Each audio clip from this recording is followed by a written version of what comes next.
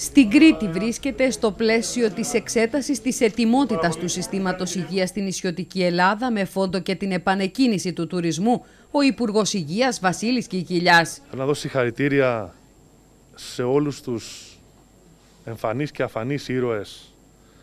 Στη μάχη που δώσαμε απέναντι στον κορονοϊό, τους ε, υπεράρχες και τους υπεράρχες μου εδώ, το διοικητικό προσωπικό, τους γιατρούς, τους νοσηλευτές, το παριατρικό προσωπικό τις καθαρίστρέ μας, τους τραπεζοκόμους μας, όλους αυτούς οι οποίοι συνέβαλαν στο να πετύχουμε στον πρώτο κύκλο και να προστατεύσουμε τους ανθρώπους μας. Ο Υπουργός Υγείας πραγματοποίησε το πρωί ευρεία σύσκεψη στα γραφεία της 7η Υγειονομικής Περιφέρειας με φορείς της αυτοδιοίκησης και της υγείας, τονίζοντας την ανάγκη της συστράτευσης όλων, ώστε να ξεπεράσει η χώρα με επιτυχία και τη δεύτερη φάση της υγειονομικής κρίσης. Θέλω να πω ότι όπως πρόσεξαν οι συμπολίτες μου οι Έλληνες και τήρησαν τα μέτρα και φτιάξαμε μια κουλτούρα τέτοια που η χώρα πέτυχε και έγινε παράδειγμα προς μίμηση.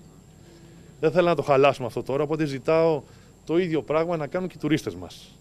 Να σεβαστούν τη χώρα μας, που είναι μια πολύ όμορφη χώρα, και το νησί μας, που είναι ένα πανέμορφο νησί, και να τηρήσουν τα ιατρικά πρωτόκολλα και τους κανόνες που έχουμε θέσει ως Υπουργείο Υγείας και Εθνικός Οργανισμός Δημόσιας Υγείας, έτσι ώστε να έχουμε το μικρότερο δυνατό αριθμό κρουσμάτων. Ο κύριος Κικίλιας τόνισε την αναγκαιότητα να ενισχυθούν οι δομές υγείας της Κρήτης και προανήγγειλε τη δημιουργία μιας νέας υπερσύγχρονης μονάδας εντατικής θεραπείας στο Πανεπιστημιακό Νοσοκομείο. Όλα τα νοσοκομεία του νησιού θα ενισχυθούν με νέες μονάδες. Με πρώτο και καλύτερο το, το Παγνί, στο οποίο ε, στους επόμενους μήνες θα έχουμε την πιο σύγχρονη μονάδα εντατικής θεραπείας στην Ευρώπη.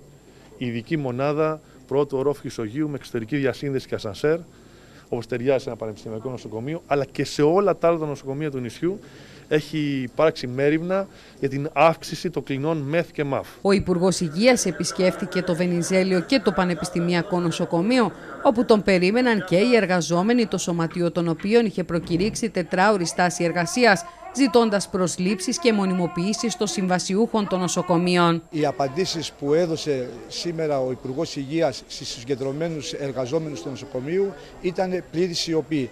Ε, το μόνο που κατά καιρούς ε, διαβεβαιώνει είναι ότι θα παραμείνει ένας κόσμος χωρίς να διασφαλίζει βέβαια τη μόνιμη και σταθερή δουλειά για τους ήδη υπηρετούντες. Οι νοσηλευτές μας αυτοί, τους οποίους προσλάβουμε ως επικουρικούς εντός COVID και οι προηγούμενοι όμως 2.500 θα μονιμοποιηθούν όλοι και θα μείνουν στο Εθνικό Σύστημα Υγείας.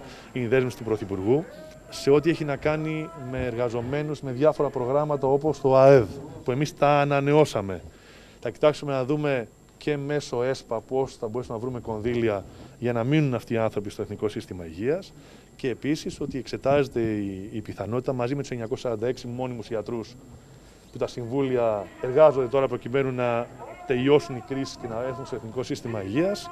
Ε, σκεφτόμαστε και επεξεργαζόμαστε σοβαρά την μετατροπή θέσεων και προκήρυξη θέσεων επιμελητών Β έναντι των γιατρών επικουρικών με συγκεκριμένη μοριοδότηση έτσι ώστε να μείνουν και αυτοί στο Εθνικό Σύστημα Υγείας.